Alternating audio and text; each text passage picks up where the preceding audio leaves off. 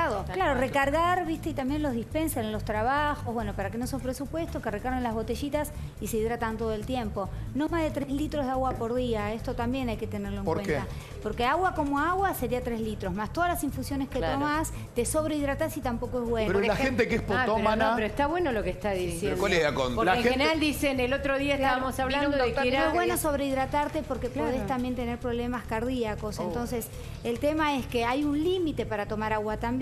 Los médicos te recomiendan dos litros, eso es lo máximo, pero en estas épocas de calor se puede aumentar hasta un litro más, hasta tres litros está Según bien. lo que pese la más persona, las ¿no? infusiones frías. ¿Cómo? Según lo que pese la persona también. Sí, tiene que ver- pero en general se da esta cantidad de agua porque si no puedes tener edema, ¿sí? hincharte, retener líquido y no es bueno tampoco retener líquido porque puedes aumentar la presión Claro, arterial. Y hay que tener en cuenta también la gente que tiene hipertensión y diabetes. eh, también son pacientes muy eh, comprometidos, digamos, entonces en esta época de calor, cuanto más se guarden, mejor y no tomar eh, o consumir mucha sal, ¿sí?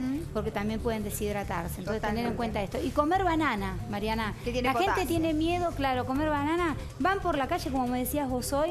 Llévense en la viandita una banana como fruta, no pasa nada. Pueden comer una banana por día, es potasio, Potasio. y también repones este, minerales que necesitas que se pierden con la transpiración, ¿no? Está muy bien. Esto también es bueno.